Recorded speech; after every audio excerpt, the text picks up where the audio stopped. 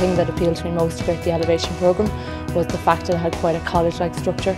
So I wanted to do the, the course and get the qualifications quickly as I could. I had a look at what it entailed and it appeared to be very flexible and to suit exactly what I wanted to do.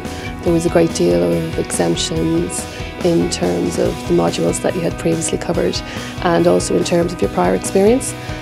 The Elevation programme to get the charter qualification appealed to me more than the other. They've got a better track record for getting students through, for higher pass rates.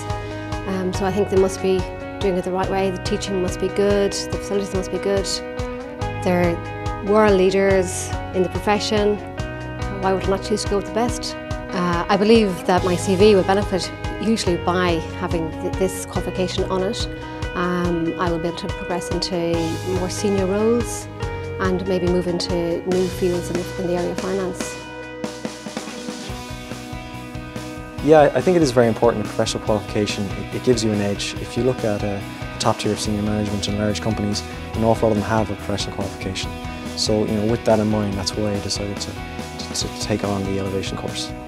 One of the great benefits of the Elevation programme is the job security that it would give you and it also enhances your career prospects.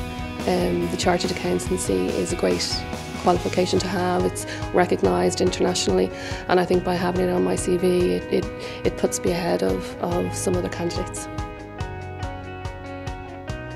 What I've most liked is the fact that um, the course is very relevant to the job that I do. So I've been able to take things that I have studied and, and looked at within the course and actually apply them to the, my day-to-day -day role. I think it is a very intensive course and uh, you know it, it, requires a lot of commitment but I think what you get out of it, I think the payback is, is far in excess of any costs. Yeah, what I really like about it is the flexibility. I can come in straight after work. I work in the city centre so it's very handy for me where it is the weekends as well, you know, it's a weekend on, a weekend off. So not in here all the time, but it, is, it does work quite well at my schedule.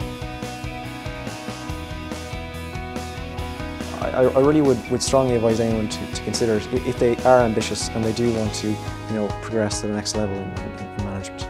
I think the, the, the, course actually gives you an ability to understand, you know, very technical details and the intricacies of deals, which is very important in my job.